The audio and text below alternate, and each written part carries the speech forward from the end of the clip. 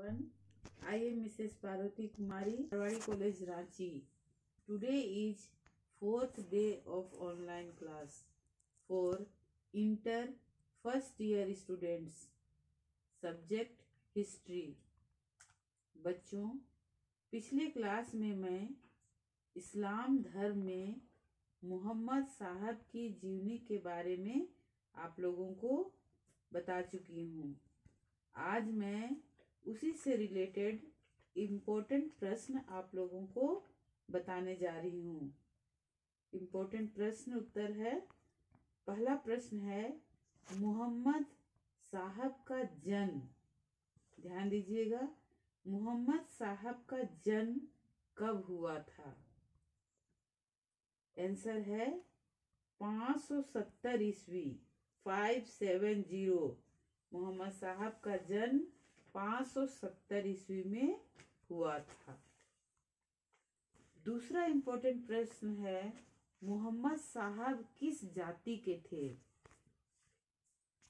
इस्लाम धर्म की स्थापना उन्होंने की थी, परंतु वे खुद किस जाति के थे?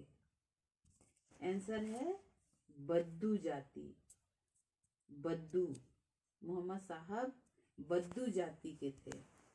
बद्दू एक खाना बदोश जाति होता है, जिसका अपना कोई स्थायी निवास नहीं होता है, उसे बद्दू जाति कहते हैं।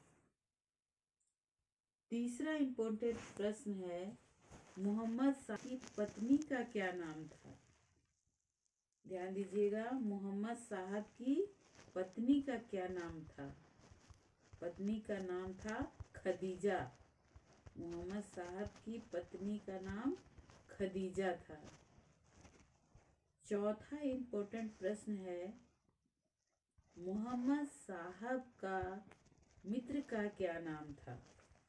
मोहम्मद साहब के मित्र का क्या नाम था? आंसर है अबू बकर।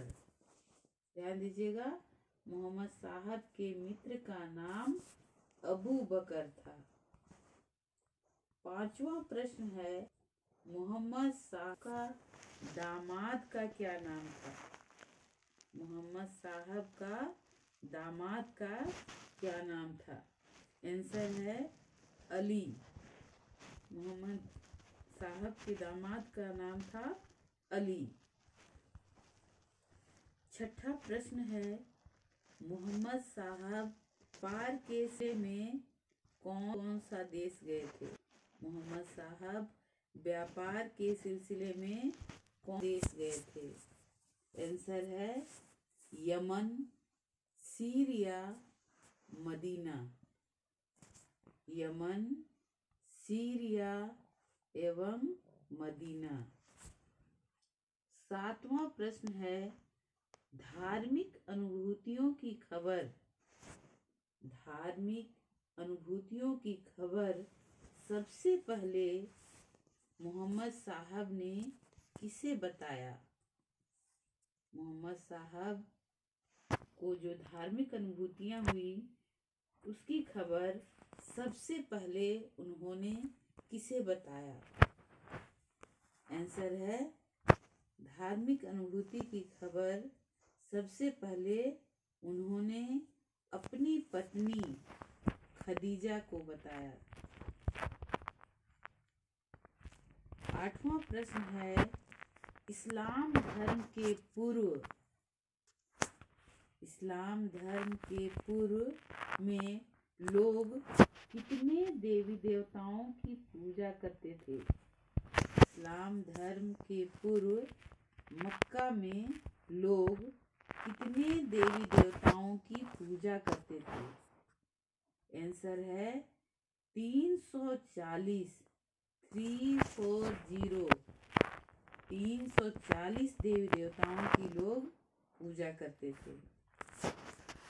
नवा प्रश्न है, मोहम्मद साहब किस पे विश्वास करते थे? मोहम्मद साहब कितने ईश्वर पर विश्वास करते थे? आंसर है, एकेश्वरवाद। एकेश्वरवाद अर्थात एक ईश्वर, एक अल्लाह पर विश्वास करते थे। बहुत ही इम्पोर्टेंट प्रश्न है। वे मूर्ति पूजा का विरोध करते थे और सिर्फ़ एक ईश्वर पर करते थे। दसवां प्रश्न है, किन लोगों के विरोध के कारण मोहम्मद साहब को मक्का छोड़ मदीना जाना पड़ा? किन लोगों के विरोध के कारण मोहम्मद साहब को मक्का छोड़ मजाना पड़ा। है मक्का वासियों के विरोध के कारण मोहम्मद साहब को मक्का छोड़ मदीना जाना पड़ा। धन्यवाद।